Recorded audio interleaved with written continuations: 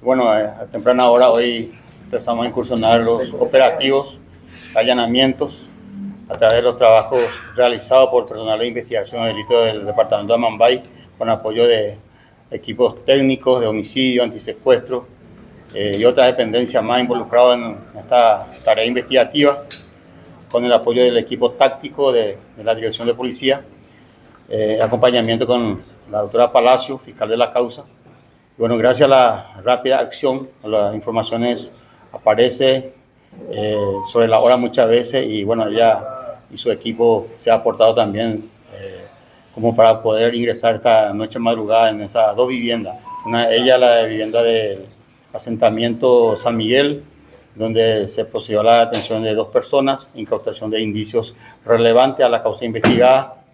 Eh, la otra vivienda, eh, tres personas, de sexo masculino y uno femenino, donde también se han incautado eh, elementos relevantes como armas de fuego de distintos calibres. Hablamos de fusiles, escopeta, pistolas, una cantidad importante de municiones de distintos calibres y otros indicios más también que puede guardar relación a la causa investigada. ¿Este sería, comisario, el que fue robado de la, de la estancia o se presume de que fueron utilizadas para ultimar a las seis personas?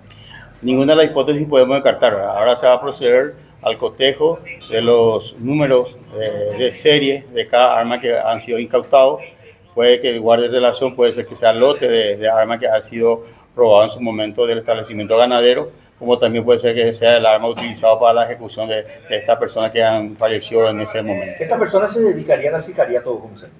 No, no podemos eh, descartar ni tampoco afirmar.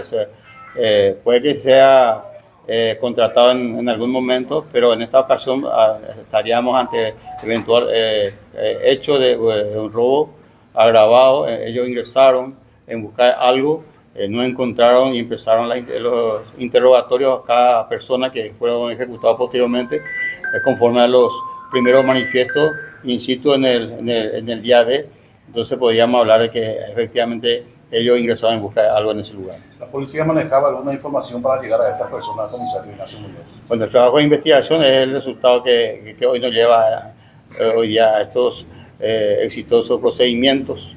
Eh, podemos hablar de que ha, ha, aparecido varias hipótesis, esas hipótesis han despejado eh, paulatinamente y ha, ha, se han quedado con lo más que ellos creían más probable, eh, vínculo o canal.